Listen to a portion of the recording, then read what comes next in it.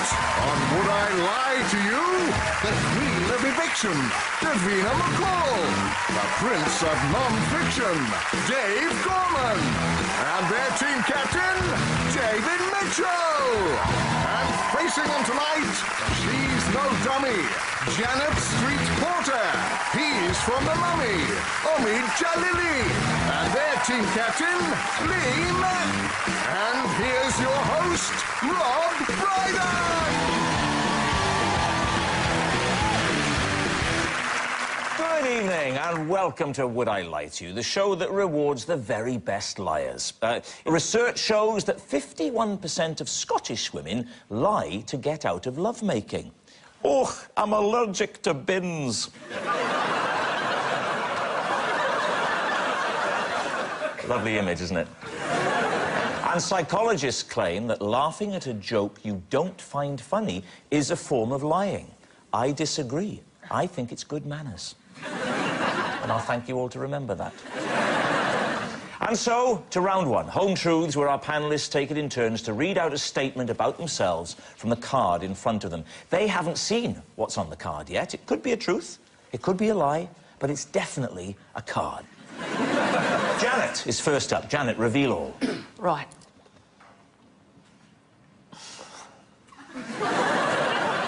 I wrote my will on a bit of cardboard when I thought the plane I was in was about to crash. Oh, there we are. I know, but certainly, yeah, she was, I'd say, trying to make it look like she was amazed by the ridiculous thing on the card. like that. But maybe she was amazed by the ridiculous thing on the card, because I imagine if a plane crashed, one of the things that would perish along with the humans would be, would be the cardboard.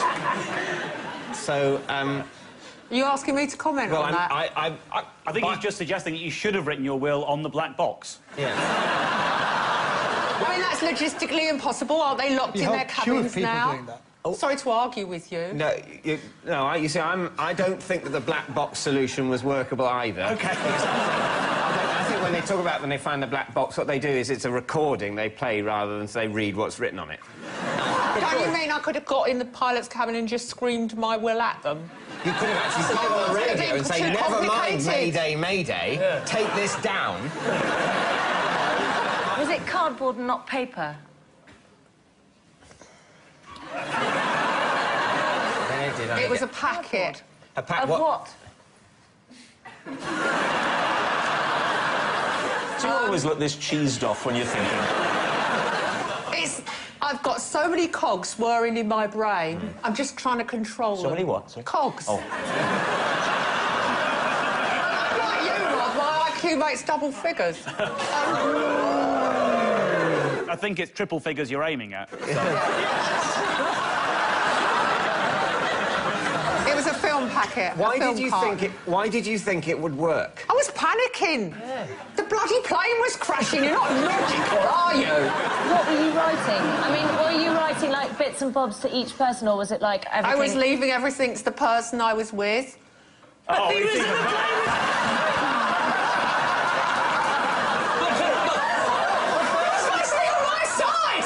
Don't mess it up! I know it's the first time I'm a dealing- lawyer. Everything has to come through me.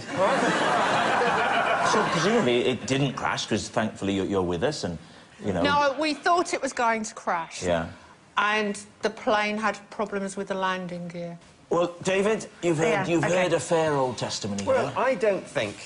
Um, Janet doesn't strike me as a. She will do by the end of the night. All right. and I think to write a will on something that will burn more quickly than you will is a moronic act. But the only thing that worries me was the beginning when she looked at it. It I felt felt double that she was acting. Yeah. When you're thinking all along, she knows exactly what she's reading because it's the truth. I think it was a bit double bluff at the beginning. I You think lean it's probably towards true. Yeah. and you're leaning I towards think it true. could be true. Yeah.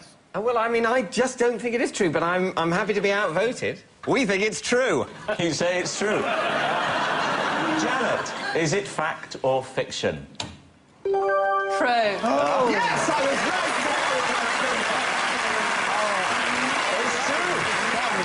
How did you get there? Yes, it's all true. Janet wrote her will on a bit of cardboard when she thought the plane she was on was about to crash. Passengers heard a terrifying whining noise, an unearthly screeching. It was Janet asking for an extra blanket. uh, Davina is next up. Davina, reveal all. Yes. I have two chilies tattooed on my back, but I'm having them covered up because they look like carrots. Lee's team, what do you think of that faltering delivery? Well, where- whereabouts are they on your back? Um, they're on this side. I know where the back is. Sort of down on my shoulder. When did you have them done? Uh, 15, 20 years ago. Why, why did you choose the two red chilies?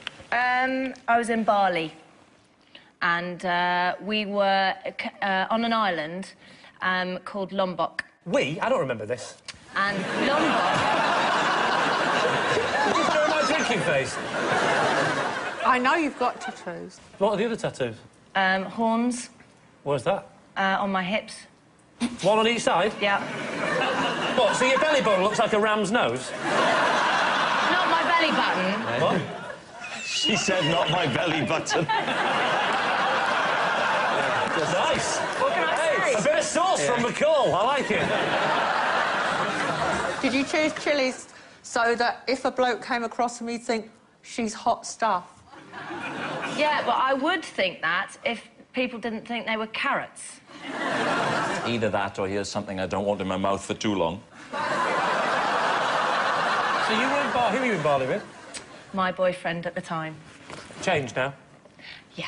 Right. 15 okay. years ago. 15 Didn't work years ago. Out. That's And fair enough, so Lee. you went- you You're were- all right with that. I'm fine with that. 15 Yeah. years ago. Relationships change, you know? No, no, I'm starting to dislike you. What do you reckon? What do you think, Janet? Lie. Fib. Ib. Big fib. Ahmed? Lie, definitely. Omid says it like he's passing sentence. I actually think it's true, but my team think it's not true. And who am I to overrule her? So, Lee, I really do need a... OK, I'll go with my team and I'll say that that is in fact a lie. You're saying it's a lie. Davina McCall, is it true or is it a lie? So sorry.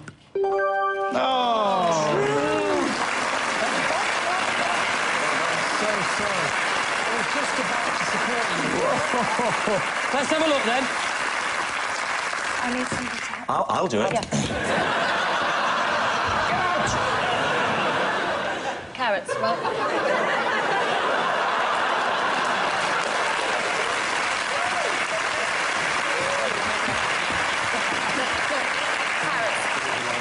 Definitely Very, carrots. very I got done. Yeah. Give me a moment now just to let the blood come back to my head. Um,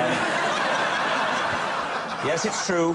Davina is having her tattoos of chilies covered up because they look like carrots. Davina was inspired to have the chilies done after a wild holiday in Lombok, Indonesia. Similarly, David has a very striking tattoo on the small of his back of the wonderful Tiverton Steam Museum. Omid, your turn to confess all. It says read with accent. Do I have a bomb strapped under my shirt? That's in very poor taste. That's in very poor taste. Um, no, no, that, that's, that's obviously a lie. I am launching my own range of condiments, including Omid Djalili Piccalilli. So, If you're not, you've got to. Who, who approached you about launching a range of condiments? Uh, Penguin Books. It's true. They, they, that's where their money comes from. Barry Norman has a range of pickled onions out. Through Penguin Books? I don't know about Penguin Books, Well, Connecting, yes, but Barry yeah. Norman does have jars of pickled onions. Well, on like the Paul market. No, Newman with his don't salad. No, he does. Salad, yeah. Well, It was. That, that was the idea. They were trying to make this Paul Newman thing happen. I said, I've only done a few bit parts in a few films. And they said, well, you're quite well known in comedy, and we're trying to get this new thing, Djalili Piccalilli. There'll be other, other uh, products as well, Djalili Chili, all kinds of things with Lily at the end. So why, Yeah. why did Penguin Books? I mean, just is it is it to go with a book. They wanted me to write a book, but I didn't feel I was old enough or experienced enough to write anything about my life. So, you said, how about I do some sort of sauces and spices and... I didn't, they did. They, there was somebody who was in the meeting who has a sideline in condiments. So Penguin Books said, we'd love you to do a book. And you said, no, no, I won't do a book. OK, oh dear, he won't do a book. That was a good idea. Any chance of some condiments? Because in the office next door, there's a guy, and basically what he's just been working on some pickled onions with Barry Norman. you know, he was brilliantly, your name rhymes with some condiments. Yes. Particularly Piccadilly, which we're, we're trying to introduce to a new generation. Reintroducing. That's not his real Yeah. name. His real surname is Jabasco Sauce. I'm, not really prepared to say anymore. confused. I think it's gone so weird that I it's think true. I, thi- think well, stranger things have happened, but I think only the about peng- six ever. the, the, the books thing is can't Penguin be true. Books is can't so. be true, can it's, it? it's such a strange thing to make up if it's a lie that it makes me think it's true. I, you see, I think what I'm worried that we're in danger of doing here is say, having heard something that is absurd and obviously not true, and saying that therefore it must be true. So come on, what's it going to be? I think we think it's gonna, it's a lie, but I'd like to say if it is true, it's what a wonderful world. You're saying it's a lie. a lie, OK, yes. Omid Djalili, is it fact or is it fiction? It's absolute crap. It's a lie. Omid is not launching his own range of condiments, including Omid Djalili Piccalilli. That's quite clearly a lie. Actually, Omid did once release his gentleman's relish in a supermarket.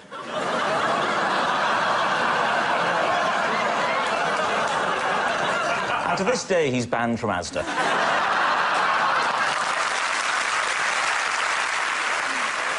Our next round is called The Ring of Truth, where I will be reading out some strange celebrity facts. But will I be lying through my teeth or telling the truth through my teeth? Uh, Lee's team, take a look at this. Seems to me that it's highly likely that pigeons, like any other sort of bird, are gonna have regional accents. We've got a, a pigeon here in Scotland that was born 10 years ago and has lived in Scotland ever since. So we're gonna get quite a nice pronounced Scots accent with a bit of luck. If you keep going south and drop down, maybe, maybe even as far south as Putney, you're going to get a nice Cockney accent developing from your pigeons. And there's a nice little wing flap. There we are. I love the fact that, you know, how much they patronise me on this show. We're 4 0 down, and Yes. I'm thinking, give Lee a chance, ask him a question about pigeons. He'll understand that. He's from Oh, it's the more north. than that. That's your dad filmed two weeks ago. My dad's dead. Was he dead two weeks ago? He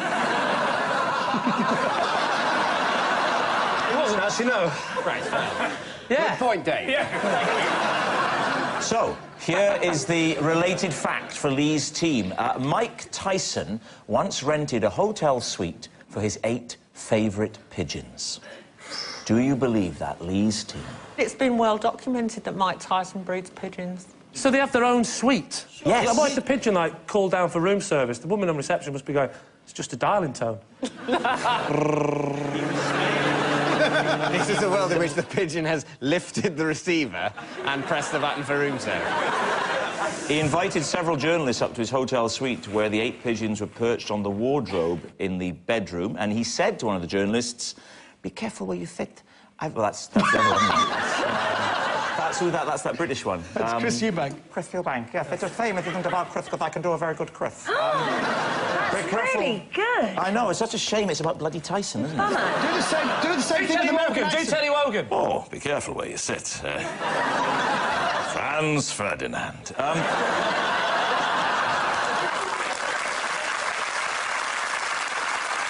um, Davina, you, I, I've heard uh, you do a very good pigeon impression. And if that's true, I'd love to hear it.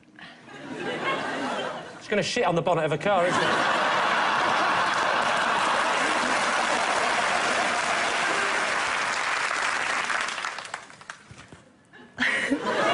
Very impressed with how you're centering yourself. Oh, oh sorry. I spoke over it. again, do it again. That's great. Oh, lovely. Well done. There we are. So, Lee, what do you, let's have your guess then. Is, is it true or is it a lie? I, you think that he would actually book a hotel for his pigeon? He loves them that much, he'd book a hotel room for them. You're paving the way for me to be in the doghouse again, aren't you? Is that a child blind? No, we've got naught points. I didn't. No, I'm just working out. Right. You're already blame you. regretting having me on your team. I didn't and if have I a get choice. this wrong, I've been in a room with him and he's got such a scary atmosphere around him. I can imagine something like that would be true. You think it's true? Yeah, I, do. think it's true. I don't think it's true, but You're I'm going saying to go with true. my team The again. team so has- far, the rec- track record has been brilliant. The team are saying true. It's true. Mike Tyson did once rent a hotel suite for his eight favourite pigeons. Which means at the end of that round, it's uh, David in the lead by four points to one. Next round is called This Is My, where we bring on a mystery guest who has a close connection to one of our panelists. Uh, this week, each of Lee's team will claim it's them that has the genuine connection to the guest, and it'll be up to David's team to spot who's telling the truth. So please welcome this week's special guest, Sadie.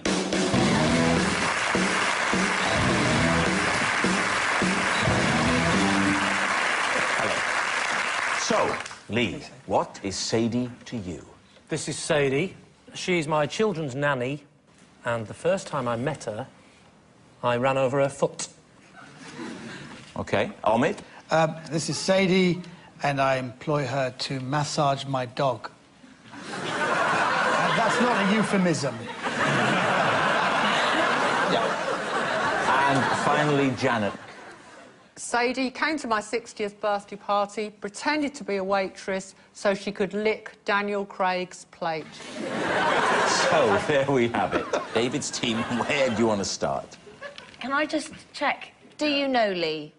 Uh, have you been to his I, house? I, I, I can just about remember his name. Well, do you know his nanny? No. Okay. Because if I knew Lee's nanny, I'd either have gone, that's Lee's nanny, or Can I just that's not out, Lee's nanny. she's so my, no. yeah, hang No, on, but I'm hang saying on. maybe She's my no children's offer. nanny. I'm not a complete moron. She's not my nanny. Uh, now, this, this running over the foot business, Yeah. uh, that was the first time you met her. Correct. Uh, and the circumstances were. Uh, I was in my car. And she was on the driveway. Correct.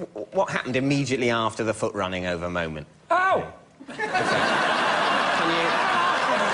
did Sadie react? Can you roll that? Ow! That was my foot! But you see, she's laughing quite a lot now, as if, like, I have to laugh, he's my employer. Yeah. But this wasn't, as it were, how you met her. You didn't run over her foot and say, you look like you might be a good nanny. It was the first time she'd arrived at the house. I hadn't met... I'd never met her before, because you- my wife... Your wife had interviewed her and Yeah, and I can said- finish my own sentences. Yeah, yeah. I'm really good at it. my, my wife had, uh, had, had interviewed, actually, you're correct, yes. Tommy, why do you have to get your dog massaged? And Uh, first of all, I, it's, it's my kid's dog. We've had the dog for about seven years. Uh, th- they wanted to get a masseuse because of uh, arthritis. It's a spaniel. We've had it for seven years, so in dog years, it's about 42, so it's quite early, and I didn't want to pay for a masseuse, but it Couldn't somebody killed else the dog. learn to massage instead? It's a 'Cause very high, it's a highly skilled thing. It is. Uh, it's about 35 pounds a session. And how long are you going to have to do it until the dog dies? Uh, I don't. We don't know. It may, it may be indefinite. You know you can have a dog put down for 30.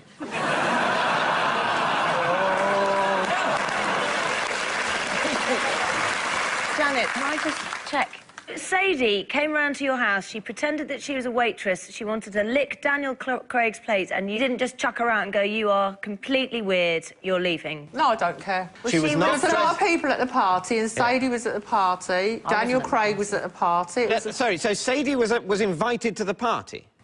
yes. The waitress act was in order to gain access to the plate? Yes. I, So what she I did is didn't instead of go approaching- Uh, through the ins and outs okay. of it. I was Why being, I was because it was my bloody birthday. I was getting trashed. I was having a good time, like anyone ill tonight would do. You know, Right. just because you're 60, love, doesn't mean you can't, you know, get off your trolley. The question is, why do you think that Sadie, instead of using her position as a party guest to talk to Daniel Craig, which is legitimate in a party, I think you'll Right. agree. Go on, You're have him, have really him. getting on my wit now. Do you want some? Look, have you met anyone famous in your career? Really famous? Like that? if you met Daniel Craig, could you actually speak? No, There you go. she's right. Answer.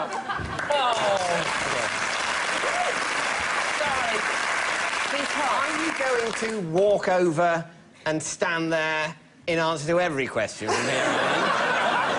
We're all, we're all a bit scared now. No, It- hey, I'm most scared because I'm closest. All right, we need an answer. Need an answer. So, uh, so David's team is Sadie, a nanny whose foot Lee ran over, Omid's dog masseuse, No. or a plate-licking pretend waitress at Janet's party.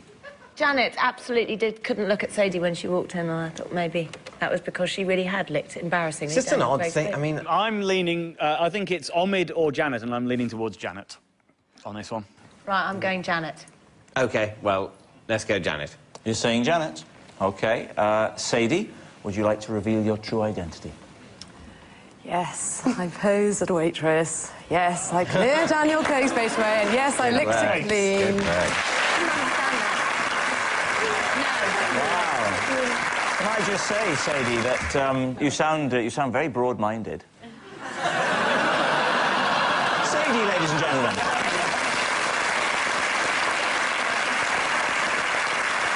So at the end of that round, David's team have five. Lee's team are catching up with one.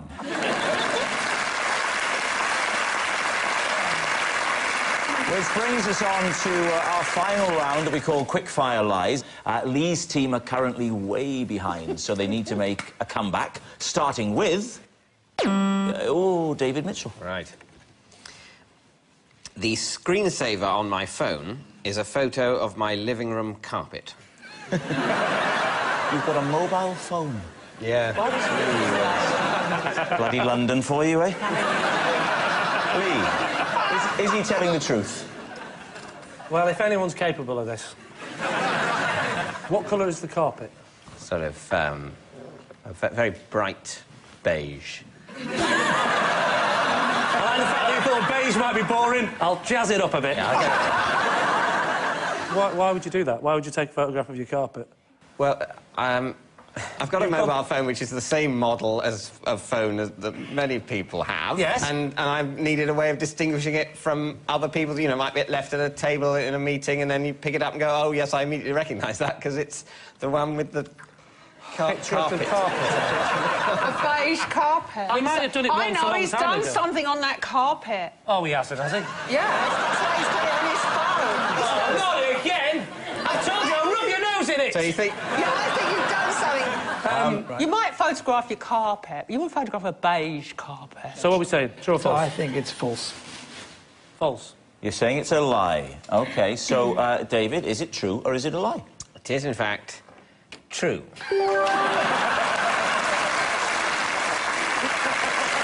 uh, David, the obvious question... Would you, would you please whip it out and let us have a look? Absolutely. There we go. Oh, we, we have a close-up, actually. We, and there it is. It's true. The, the screensaver on David's phone is a photo of his living room carpet. It's the first time an Ericsson's got a close-up of a bit of beige carpet since Sven went out with Ulrika. Originally, David had a picture of his bed on his phone, but got embarrassed about his Hannah Montana duvet cover. Next up, uh, Lee. Ooh, possession. Oh, right, you're going to pick the box up then from under the desk. Well, you say box. Oh, sorry, the oh, tube, the tube. yes. This is my wall map of the UK. I have marked every service station that I have ever visited on it. Oh, okay. I can so see him doing that. Yeah. It's from a man who was criticising somebody else for photographing a beige carpet. Wow. Sorry, if, are they um, are they little stickers? Yes. Sorry? They're two colours of stickers. There are two colours What of stickers. What do they represent? the orange ones. th- These are the orange ones, the Yeah. orange ones. Yeah. And I've also done blue ones. But why? Why? so I could differentiate between the two types of service stations. Why? I'm about to tell you. OK, well, come on. Just give me a second. Sometimes Lee likes to finish his own sentences, sometimes not. They are basically do, two differentiating uh, service stations. I use orange if I am heading north and blue if I'm heading south. Or if I'm heading west, I also go for blue. In east, I go for orange. Well, you have headed north a lot more than you've headed west or east. I mean, how did you get back here? Make, about, equal if you count them. Looks like there are loads more orange. uh, now, that one on the, in Scotland there, on the Top. I can't believe you know where Scotland is, David. Well done. Near Inverness, there's one. That one there? That one there. Would- would Reminisce about that. Do you know, I will. I will reminisce about Yeah. that. Uh, I went in, uh, went through to the main pasty area, where I ordered my Ginster's pasty. And uh, may I say, Aberdeen service So no station, cooked it was absolutely the perfect temperature. Just what- this just- is really hurting my arm. OK, you can Sorry. put it down. One more question, have a though. look at it? One more... Have a look. Yeah, one more question, though. Well, you don't have to spoil it with the details. If you want to have a look, they can have a look. Can they? Yeah. These are all motorway service. Yeah. Oh, you're all coming, are you? Well, I, you know... Here. There's an F and a, an asterisk. What Yes. do they denote? They, they know, they know. Fantastic. And uh, the asterisk is, uh, there's not a word. Blows my mind. Blows my mind, the asterisk. And how many years of touring does this represent? Oh, it's not just touring. I'll do it when I'm on holiday. I'll do it wherever I go. You know when you said that there were about the same number of orange and blue? There's seven blues and 33 oranges. You're going to be laughing on the other side of your face when in the next round I say I am colourblind. So, David, it's time to take a guess. Aberdeen service station doesn't ring true. It's definitely. I wonder with the Aberdeen one. That's right outside Aberdeen. So you stop. You stopped at a service station about six minutes after departing. If it's on empty, I stop and fill it up. Certainly, Which I'll- 33 I'll- times out of 40 happens when heading north. Yes, it's uphill. you could.